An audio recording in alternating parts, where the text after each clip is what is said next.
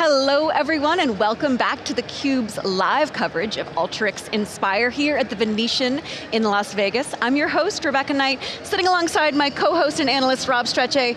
We're just fresh from lunch where we had so many great conversations with many, many of the attendees here, yeah. and it's really coming through what a community this is of innovators. I, what I loved is some people sitting together, sharing ideas on workflows Helping and how- each other out. I, I, I, again, I just love that when you come to an event, and I think that really carried over from the keynote this morning because the energy and just the customer use cases and the discussions were killer. And the demos were, I, I, I thought, the weaving DoorDash throughout was fantastic. A good thread, a good yeah. thread indeed. Well, speaking of all of that, who better to talk about yeah. the, the, product innovation that's taking place at Alteryx than Suresh Vittal. He is the Chief Product Officer here at Alteryx. Thank you so much for coming on theCUBE. Thanks for having me. It's another another Bostonian, so yeah, here we can right. all, we can talk about Boston sports, or we can talk about product. And CUBE alumni. And yeah, exactly, I should say that, exactly. so as Rob was saying, we saw a lot of exciting new uh, product innovations and, and enhancements in the keynotes today. Can, why don't you just walk us through them a little bit and yeah. tell our viewers a little bit more yeah, what happened. So, thank you for being here, firstly. Um, we've got 3,500 of our customers with us today and tomorrow, going to certifications, training, and knowledge sharing. We, I think we announced a lot of exciting stuff here at Inspire. I'll break the announcements down into two big kind of categories uh, certainly AI is a very resonant theme with our customers and certainly was a resonant theme with our product um, strategy as well. And so we talked a lot about how we are using AI to make the lives of our users much simpler, allowing them to do analytics better and faster, uh, and create more insights, frankly, across the business. So in the AI category, we announced AiDIN Copilot, which I'm super excited about. You all saw a demo. Oh, the demo was really great. I mean, right. I, I, was excited after seeing the demo. Right, and DoorDash was literally kind of, he was writing his prompt in of what he wanted to do, and that's the power of AiDIN Copilot. It is your personal assistant to help you build workflows faster and do better analytics. Um, and we think that's going to be a game changer because it's going to lower the barriers to entry in the use and getting value out of our products. We also announced in Auto Insights a series of AI capabilities. One called Playbooks, which allows, which kind of speeds up the ideation process and allows you to kind of think about the use cases and bring products to life quickly, uh, and bring ideas to life quickly, all the way to the process of building the workflow. It recommends to you what use cases you'd be focused on. And then, of course, we talked about um, in Auto Insights, we talk about magic pages and magic documents, which accelerates the analytics process. So lots of announcements on AI side, and then cloud announcements as well, right? We made a series of cloud announcements, availability of Designer Cloud and Auto Insights, um, and location intelligence across all platforms, GCP, AWS, and Azure. We talked about all the use cases that they could do on the desktop, they can now do it in the cloud with for prep, blend, and transform with Designer Cloud. So we announced all of those uh, new capabilities as well. I'm super excited, as you can hear. lots of AI announcements and lots of cloud announcements. Yeah, I, I think again, it was such a good announcement, and I, I, think what has been that other theme has been going through has been partnership and things. You had Databricks up there, and I, I, which, you know, again, it, it's really that nexus between cloud and data and AI. Yeah. And, and I think to your point, AI and AiDIN, which you announced last year but really brought to, brought to life this year, what are some of the use cases you see that people are going to really lean in on and yeah. use that? Because it's, it, I, I, think that to me is what makes it real to people yeah. as well. So, it, it, I think that's great how you phrased it, nexus of AI, cloud, and analytics. And, and that's really important for us. We want customers to be using these products to solve real world use cases. I see them using AiDIN, for example, for the, our um, co-pilot capabilities to really accelerate the process of learning more around the product. It's not just about doing the workflow, but it's about bringing transparency to what they build and what the systems build. We've all heard about cases where the AI is hallucinating, or it's providing misinformation, or it's biased in some shape or form. We've kind of built it in a way where it's completely transparent. And so we want them to learn more about the workflow that they're building and what better way to do it than have the system coach you on what you should be doing. So I think that contextual help and the transparency is a use case that people are going to really grab onto and use it to bring new users into the family faster. Uh, we think a lot of the, what I would think of as core activities that you have to do, I think those are going to become faster. So you saw us talk about magic pages and magic documents. Yeah. I can see a whole host of users using it to create personalized reporting aimed at specific individuals inside the company, right? I think that's a use case that's going to take off. Yeah, I, I, think I think so, and I, I, think to to your point, I think what was really interesting is it's not AI for AI's sake, and I, like you said, and I love the fact that you're putting guardrails in there, and I think yeah. you talked to that, and I thought I loved the little map and all of that, and the yeah. rerouting because I, I, swear Waze takes me the wrong way just to save me one minute, and I'm like, what, I got to get off and get back on. I'm like, I don't mind that. I actually, li I like, I like it. But I, I, think to your point, it's like you want to trust it, right? Yeah. And I think that's yeah. that's. Cool. And so that was one of our. So we kind of are really thinking hard about how do you allow for responsible AI inside the business. So we want our users to be able to benefit from AI, but we want to put the guardrails in place as well so they get the right governance, they get the right protection, they're able to open that black box and look inside and understand what the model's proposing, and if that's the right answer or not. Um, and so we are trying to draw this balance between usability, because that's what we're known for, right? Alteryx products are amazing to use, easy to use, lower the barriers to entry, so we want, we want a balance between usability, access to AI. We don't, you don't need to be a data scientist to use our products, and we want you to be able to kind of build models and be able to use all of these capabilities. And third, we want you to be responsible and transparent, right?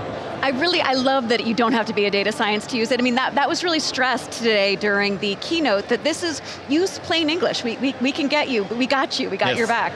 Um, in terms of your overall approach, I mean, you are the head of product and, and you are supposed to be thinking innovative thoughts. That's, that's what you get paid for. But how do you think about AI in terms of what you were just saying is that AI makes mistakes, it hallucinates, it, it, it, it, it, it doesn't, you can't always trust it, it's not always ethical, it's biased. How do you think about these things, approach these things, and then lead a team to also have that um, perhaps right amount of skepticism yeah. when, when, they're, when they're creating new products? Yeah. You know, we're deeply uh, thoughtful about how we want to approach AI. We don't want to make this, we don't want to move too far away from our core ethos, which is about putting analytics in the hands of the business users who understand the business problems, who are starting getting a better understanding of the data, but don't have all the tools that they need to be able to deliver insights to their business. So when we think about our, our problem statement, we always keep the citizen data scientist or the business analyst front and center and think about what are the problems these people are trying to solve, right? Are they, they're trying to do analytics faster, they're trying to solve for the data processing challenges, and they're trying to clean up a lot of these old processes that were put in place from 20 years ago. Right? AI can be helpful in each one of these areas. And so we do a lot of user studies. We run a design partner program. We've got about 50 customers at any given time providing feedback to all our early stage products, and they're providing brutally honest feedback to us and sharing where they think our proposals will work, and equally where they won't work, and what we can do differently. Right? So we run this through a, a process because this entire paradigm of AI-infused applications is new. And so we need to figure out how to bring workflows, the user experience, and AI together into one blended experience for those users. So we use the design partner program. Now we have them in private preview for a period of time where we get even more feedback and we get even wider adoption, and eventually we kind of put it in general availability. So we're constantly thinking about how does this impact the life of the user, and how does it allow them to do analytics better, faster, cheaper. Yeah, I, I think also, I, I think again, you guys started out on-prem, now you're moving to the cloud, you're making connections between the two. Why? Do the right work in the right place. Mm -hmm. And you're bringing certain features that take advantage of the scale of cloud as yes. well. It, it, would seem that, I mean, again, some of the other announcements besides AiDIN that you went into, you know, I'll, give you, I mean, one that stood out to me, and just because um, I'm a nerd in this stuff, right, is that the metadata not only having to be in Mongo, but now you can be put it in SQL Server Yeah. for server, uh, you know, Alteryx Server, and so things like that. What other what other things should organizations be aware of beyond the Gen AI stuff that Yeah. you were announced today? I mean, you brought a great one up, the, the availability of, it's been a long-standing request for us to make more databases available to, part, to play with uh, Alteryx Server. Now we have SQL Server, is where, another place where you can store your Alteryx metadata in. We talked about the cloud availability, you brought that up as well, right? We were available on AWS, we're available on GCP and Azure. I think that's going to unlock a lot of usage for our customers. The third thing we talked about, which may have gone in, in all the news we announced, may have gone, we talked about the security certification, the private data handling. So we think this is a really important capability that customers will need more and more of, which is, I'm going to design in your environment, but I'm going to run in my environment, where my data sits and, and, and where my data resides. And private data handling gives them exactly that capability. It allows them to run these workflows, these very complex workflows, without having to move the data. So in some ways, it's bringing the analytics to where the data sits, as opposed to taking the data to where the analytics is. Yeah, I, I, think we actually talk about that a lot about bringing AI to the data, and you know, I, I think again when you start to look at where the data is, I mean, uh, there's a reason that there's two billion, that you know, Databricks has two billion dollars in revenue. I mean, Spark and things of that, Mongo and others Yeah. that are up in cloud, uh, and you had Redshift and a number of other databases there that you're, you know, connecting to and working with. And Yeah. I, I think, do you see that a big piece of where organizations are really, because it's bridging that. Yeah. It's bridging, you know, from Excel spreadsheets all the way up to Redshift and Databricks and the data doesn't just sit in one place That's right. as well. And that's, that would mean, that to me is what, where the power of workflows comes in. 100%. And that's what we thought about, right? We want Alteryx to be available wherever you work. You're in Snowflake, and there's a lot of customers in Snowflake. We want you to be able to run this workflow in Snowflake and push down into Snowflake. You saw Adam Conway on stage there, the SVP of product for Databricks, and he talked about the partnership they have with us, right? 600 plus customers, hundreds of thousands of workflows running in Databricks. Why? Because we are deeply integrated in Databricks and we push right down into Databricks. Similarly, GCP and the BigQuery customers, Redshift customers, this ability to take these really complex, really articulate, sophisticated workflows down to where the data resides, I think that's a superpower that Alteryx gives our users um, that's hard to replicate. Suresh, what are you hearing here at Inspire? There's so many great conversations that are taking place in the hallway as well as also in sessions. What are some of the, the, the, conversations that you're having with customers or partners that you're excited to go back to work on Monday and get started yeah, with? so that's a great question. Uh, responsible AI is a topic that keeps coming up over and over again. Customers want to be able to do AI, but want to do it in a responsible, transparent way, and they want to understand what the playbook is. And we know that's changing quickly with all the announcements that are coming out of the foundational large language models, the hyperscalers, and the cloud warehouse vendors, right? And Alteryx is a key player in that ecosystem. So responsible AI is a topic that comes up over and over again. The ability to innovate quickly, right? Our customers are looking to innovate fast, create analytical applications fast, deploy them to their end users quickly. That's a theme that keeps coming back up over and over again, right? So we, that's a topic that we talk about. This being able to run on desktop, in cloud, and in a hybrid requires our customers to think differently about their architecture, right? One customer said a really interesting thing to me. A financial services customer said, hey, you know what, Alteryx is kind of the platform we can bet on that makes it easier for us to change our decisions on everything else, right?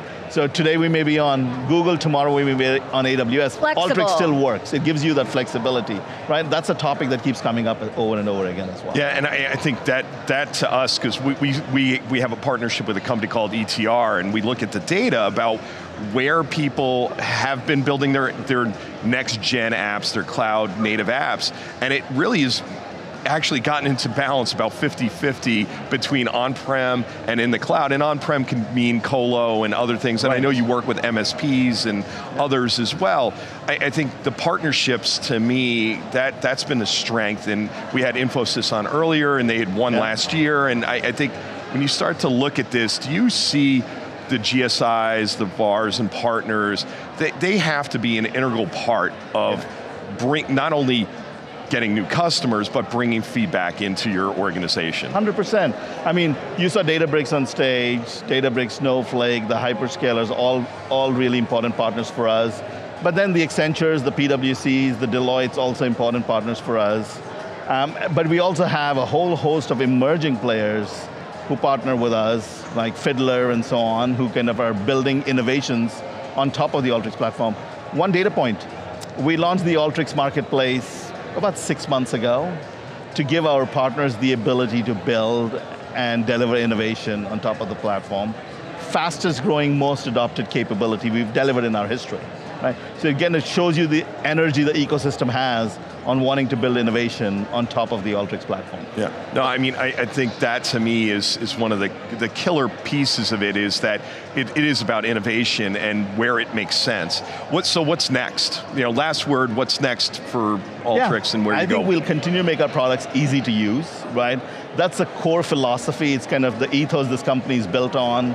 We really want our end users to be successful with the product. We'll continue to do that. You'll continue to see our innovation in cloud scale. But along that, we know it's just a form factor thing. Designer and server continue to be big investment areas for us, and we'll continue to deliver those capabilities. And we've got a few things on generative AI that I can't talk about right now that are coming that'll make it, I'll give a clue, it'll make it really easy for our users to build analytical applications. Right? Excellent. Suresh, we are on tenterhooks, so we'll have to save it for next time. Suresh, always a pleasure. Thank you so much for coming on. It was great to uh, spend time with both yeah. of you. Thank yeah. you. Stay tuned for more of theCUBE's live coverage of Alteryx Inspire. I'm your host, Rebecca Knight for Rob Strechay. You're watching theCUBE, the leader in technology news, coverage, and analysis.